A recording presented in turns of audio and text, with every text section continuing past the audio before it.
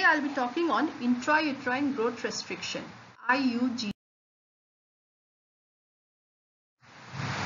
So it is a commonly encountered obstetric problem which complicates 3 to 10% of all pregnancies. It is found in around 50% of preterm stillbirths and 25% of term stillbirths. The perinatal mortality rate is 8 to higher times for these fetuses. It is around 6 to 30% in developing countries. IUGR is the second leading cause of perinatal mortality. So what is IUGR? It is the failure of a fetus to reach its full growth potential. When the expected fetal weight is less than or equal to 10th percentile for the gestational age, as said by ACOG as well as RCOG, or when the effect, expected fetal weight is less than 2 standard deviations below the mean for the gestational age or the abdominal circumference is less than 10% for the gestational age and the ponderal index is less than the 10th percentile for the gestational age. So coming to the pathophysiology. So how does intrauterine growth pattern occurs in a normal fetus? So first is the stage of hyperplasia which is between 4 to 20 weeks where there is rapid cellular growth. The cell numbers increase leading to the increase in DNA content. Then is the second stage between 20 to 28 weeks. This is the stage of hyperplasia and hypertrophy. That is, there is both the increase in the cellular cell number as well as increase in the cell size. And the third stage is the hypertrophy stage. This is between 28 to 40 weeks of pregnancy. There is increase in the cell size but there is no longer multiplication of the cells. So the cell number doesn't increase further. At this stage, there is rapid accumulation of fat, muscle and connective tissue. 80% of the fetal weight gain occurs during the last 20 weeks of pregnancy. What are the determinants of fetal growth? So it is dependent upon various factors like the maternal nutrition and the health status, the uteroplacental blood flow, uteroplacental substrate uptake, the placental transfer function, the umbilical blood flow, and fetal endocrine status. The physiology of the growth factors. So this is dependent upon various substrates like glucose, insulin like growth factor 1, IGF-2, thyroxine, leptin, angiogenic factors, and cortisol. Now, how does the fetal weight gain occurs? So it accelerates from about 5 grams per day at 14 to 15 weeks of pregnancy to 10 grams per day at around 20 weeks. The peak occurs around 30 to 34 weeks of pregnancy when it is it occurs at a rate of 30 to 35 grams per day. Thereafter the growth rate decreases. The symphysis fundal height increases by about 1 centimeter per week between 14 to 32 weeks of pregnancy.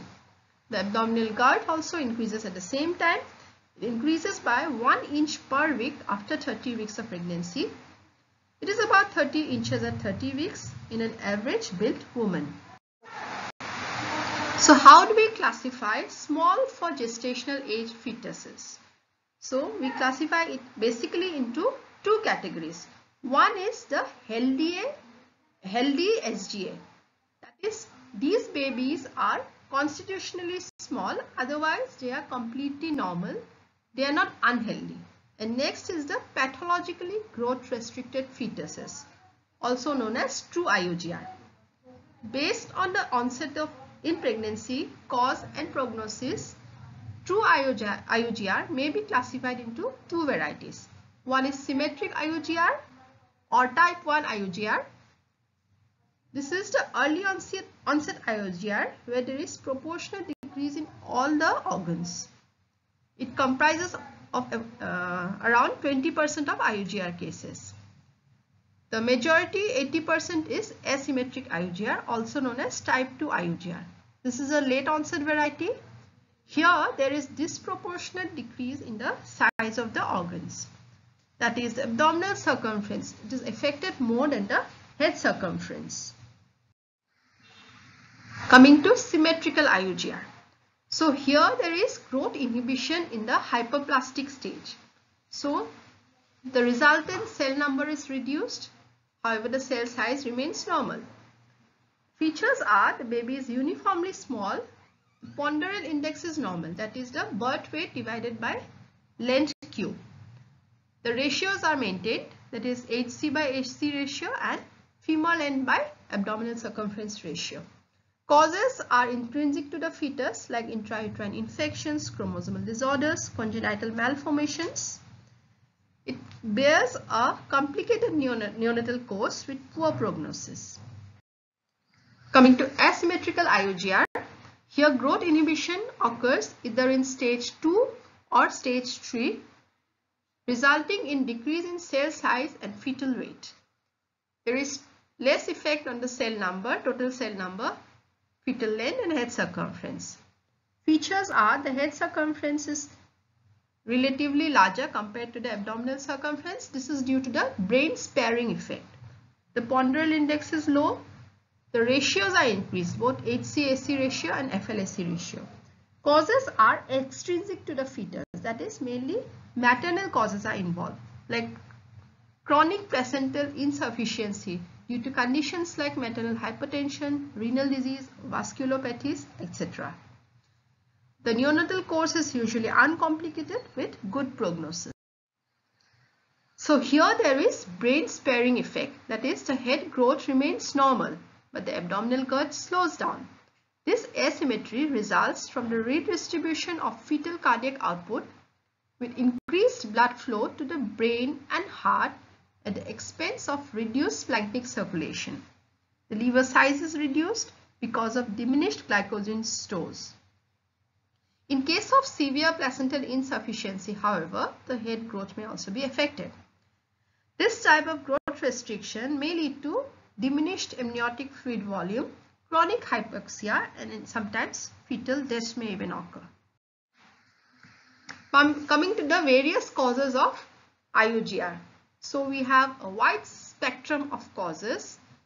First we come to the maternal causes. So these includes maternal malnutrition, low social status, substance abuse, alcohol smoking or caffeine intake, low maternal BMI, previous history of having IUGR baby, use of drugs like warfarin, anticonvulsants, etc., chronic anemia in the mother, hemoglobinopathies, living in high altitudes, shorter interpregnancy interval, assisted reproductive techniques, and maternal diseases like hypertension, diabetes, renal disease, preeclampsia, thrombophilia, mainly those diseases where there is vasculopathy. Placental causes include placental abruption, infarction, fetal villus obliteration, diffuse chronic villitis, placental hemangioma, single umbilical artery, velamentous cord insertion, placental, placenta previa and chorioangioma. Fetal causes include various chromosomal disorders like trisomies, autosomal deletions, presence of ring chromosomes or sex chromosome disorders, congenital infections which may be viral infections like rubella, CMV, varicella, HIV, protozoal infections like malaria, toxoplasma, trypanosoma. Structural anomalies, then various genetic disorders which may include inborn errors of metabolism like agenesis of pancreas, congenital lipodystrophy, galactosemia, etc. Coming to the diagnosis. So our first thing is to identify the mothers who are at risk of developing IUGR. So those having poor nutrition, poor BMI at conception, suffering from vascular diseases, then infections, particularly the torch infections, or if there is a mother having poor weight gain during pregnancy. First of all, it is very important to determine the gestational age. Most of the women come to us with unreliable last menstrual period dates. So in those cases, if there is an ultrasound, particularly done before 21 weeks of pregnancy, is very much reliable because it provides very accurate estimate.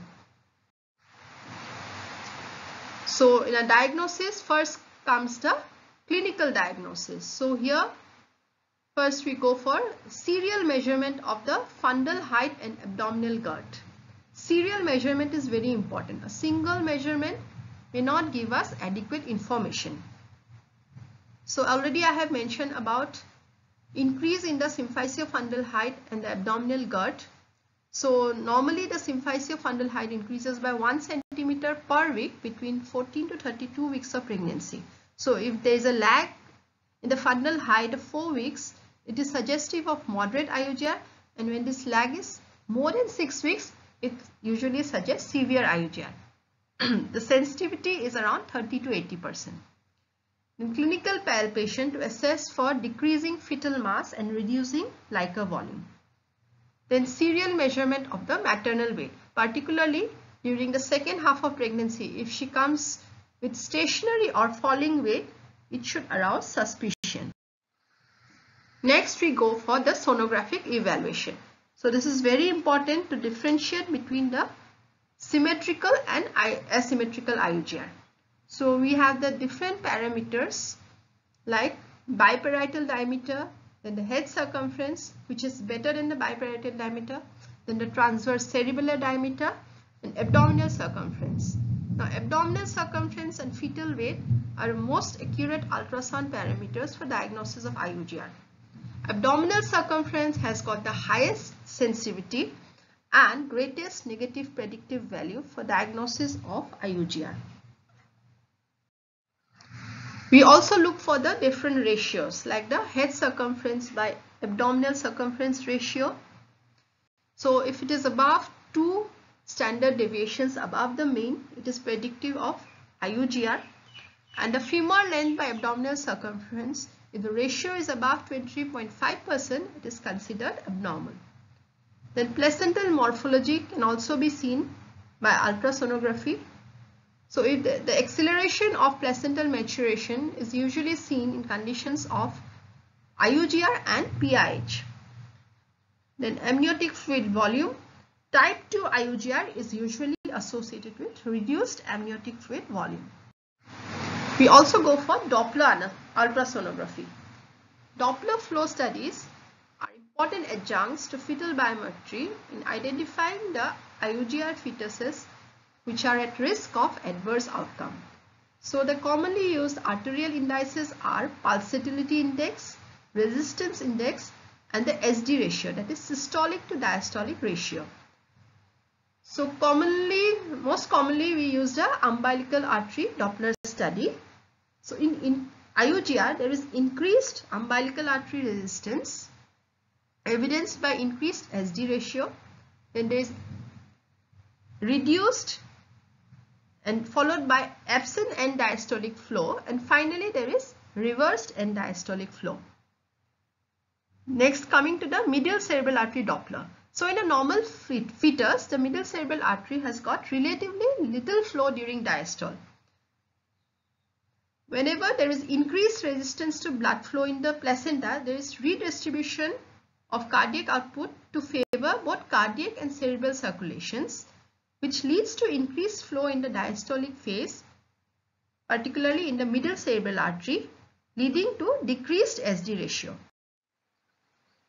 When the ratio between middle cerebral artery pulsatility index and umbilical artery pulsatility index is a more sensitive predictor than either MCA and umbilical artery velocimetry alone to detect the rate distribution of the blood flow. Coming to the Doppler study in ductus venosus. The perinatal mortality in growth-restricted fetuses has been found to be significantly worse when abnormalities in the fetal venous circulation are detected. In a normal fetus, the flow in the ductus venosus is forwards. It moves towards the heart during the entire cardiac cycle. When there is circulatory compensation of the decompensation of the fetus, the ductus venosus waveforms show absent or reverse blood flow during atrial contraction. And perinatal mortality shoots up to 63 to 100%. Therefore, it is recommended that the fetus should be delivered before there is development of absent or reverse blood flow of the ductus venosus. What are the complications of IUGR? Perinatal mortality and morbidity of IUGR infants is 3 to 20 times higher than in normal infants. During the antepartum period, there is a risk of stillbirths and oligohydramnios. During labor, there is increased risk of developing meconium aspiration, fetal distress, or intrapartum fetal death. During the neonatal period, there is increased incidence of hypoxic ischemic encephalopathy, persistent fetal circulation insufficiency, hypothermia because of absence of brown fat and small body mass relative to the surface area. Then lack of glycogen stores may lead to hypoglycemia. Chronic intrauterine hypoxia may lead to polycythemia, necrotizing enterocolitis, or other metabolic abnormalities. What are the complications that may occur in the childhood period? So there is increased risk of mortality for, from infectious diseases or having congenital anomalies. The incidence of cerebral palsy is 4 to 5, 4 to 6 times higher. Subtle impairment of cognitive performance and educational underachievement is also seen. Also, there is chance of having certain long-term complications like risk of coronary, coronary artery disease, hypertension, type 2 diabetes mellitus, dyslipidemia and stroke. So, certain preventive measures are improvement in the nutritional status of the mother, preconceptional counseling and care, malarial antiprophylaxis, particularly in malaria endemic regions, cessation of smoking, alcohol and illicit drug use, use of low dose aspirin, correction of anemia, coming for regular antenatal checkups, immunization with rubella vaccine in susceptible females, and supplementation with adequate proteins, vitamins and minerals. Coming to the management part. So basically there are three principles. One is identifying the cause of growth restriction, Number two, treating the cause if possible. And third is the general management. So how to identify the cause? Maybe from the maternal history or clinical examination or by the various laboratory investigations like the hemoglobin, blood sugar level, renal function test or serology for torch infection. Specific investigations for thrombophilia in patients with history of early onset growth restriction fetal evaluation is to be done including a thorough ultrasound for growth restriction, liquor volume, presence of any congenital anomaly and Doppler evaluation.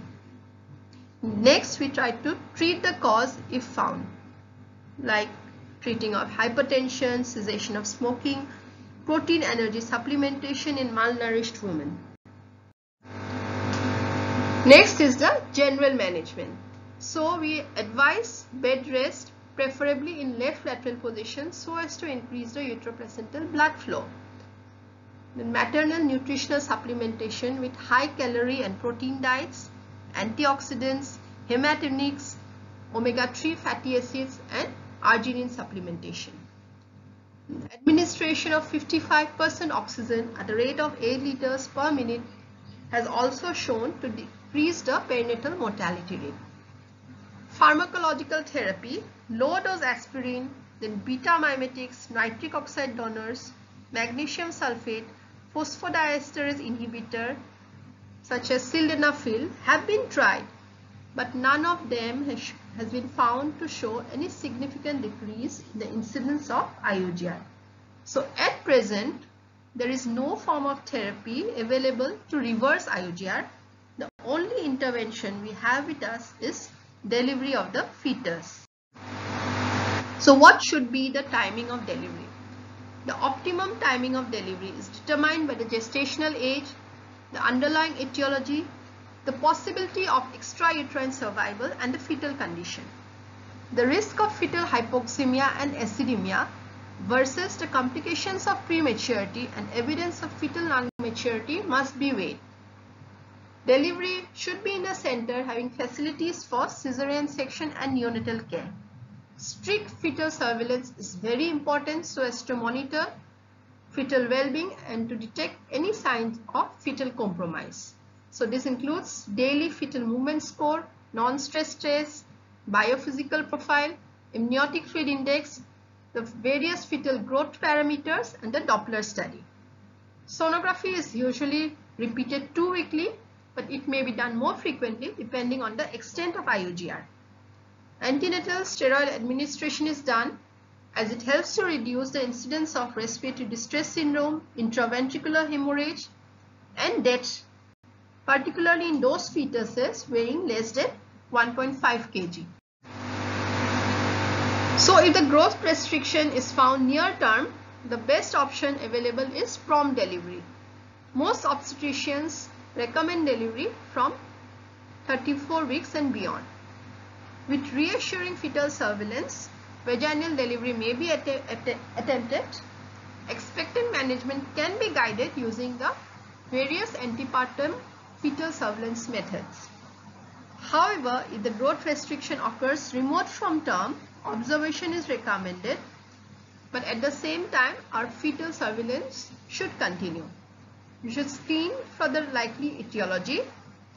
The decision of termination depends on the relative risk of fetal death versus preterm delivery. No specific treatment measure can ameliorate the condition. So what should be the mode of delivery? So every case needs to be individualized.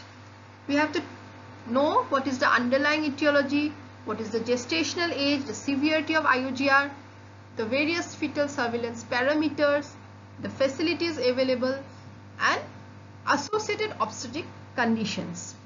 Vaginal delivery can be allowed as long there is as there is no obstetric indication for cesarean section and fetal heart rate is normal. Fetuses with any major anomaly incompatible with life should also be delivered vaginally.